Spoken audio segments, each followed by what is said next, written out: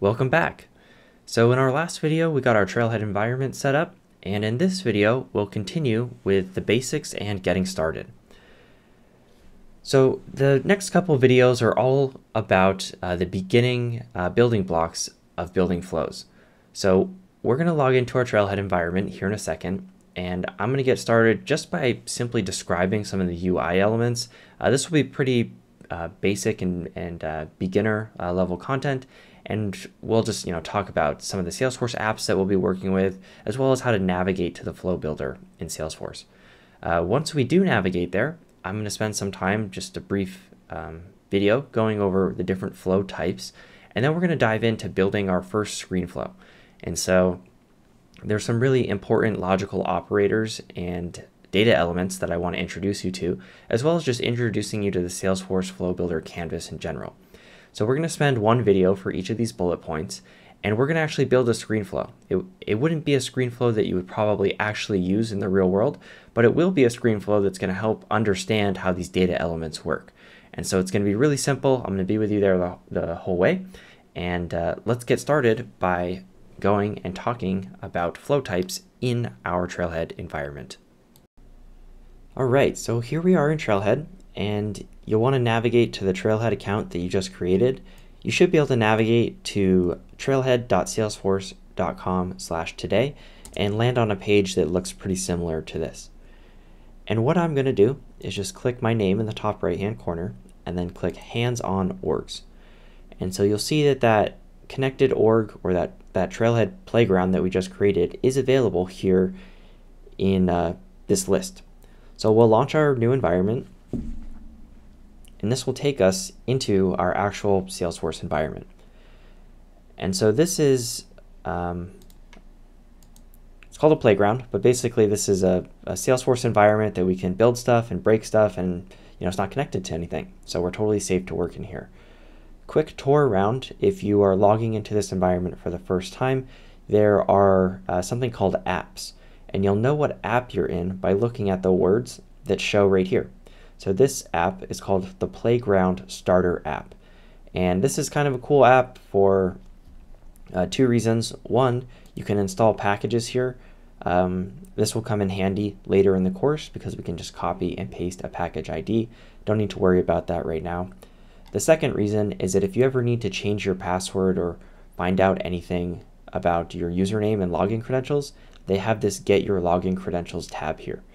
So just maybe file that away in the back of your brain. We probably won't spend too much time in this specific app, but knowing that this, this is here is uh, really helpful. The place that we'll probably work out of on the front end is going to be the sales app. So I'm going to click this 3x3 grid here, and that's called the app launcher. And you'll see that one of the apps down at the bottom is called the sales app. So I'm just going to click that and navigate there and you'll see that um, a new series of tabs and a different sort of homepage pops up here. And this is the primary sort of spot that we'll be working out of on the front end as we build the course. We're going to toggle between working on the back end in terms of building flows and testing them and building records and things on the front end. And when we are on the front end, this is where we'll be. So if, if this says sales up here, you're in the right spot. So now let's talk about how to navigate to flows. Obviously the course is about flows, and so we'll be spending a lot of time building them. The way to access the Salesforce sort of backend or the, the builder side is by moving your mouse up here to the top right hand corner and clicking this gear icon. And you'll see that there is a little, I don't know, link or there's a gear icon with a lightning bolt in the middle and it's called setup. We'll press setup and that will open up in a new tab. And this is the Salesforce backend, as I call it. Um, might actually even be called that. Also, it's also called the setup page, but um, if I'm saying either setup or backend or you know object manager, those sorts of things throughout the course, this is where we will be. And so basically anything you need to do as an admin really starts here. And what we're going to do now is navigate to where we build flows. So in this quick find menu, I'm just going to type in the word flow. And you see like there's a bunch of options we want to pick the option under the process automation section that's called flows. So we'll click that. And this will take us to a list of flows that exist inside Salesforce. And so you can see that Salesforce comes automatically with, it looks like 12 flows built out. Uh, some of these are active and some of them aren't. I don't really know uh, what many of these do because I guess I haven't really worked with, with a lot of these default flows.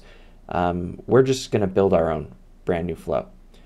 And um, we'll, we'll definitely come back to this screen many, many times throughout the course. So don't feel like this is the first and only time you'll see this. Uh, you're going to see this probably hundreds of times throughout your career. But uh, the main button I want to draw your attention to here is this new flow button. And once we press this button, we will um, be prompted to select a flow type as that's the first step. I can even show you what that looks like. So when I press new flow, Salesforce is going to ask me what flow type I want to build. And I'm not going to go over those in, in this video. I just wanted to kind of give you a brief de or brief walkthrough of the Salesforce environment. So I'll close this out. Um, in the next video, I will we're going to make a new flow and we'll go over the different flow uh, record types or the different flow types. And I'll see you there.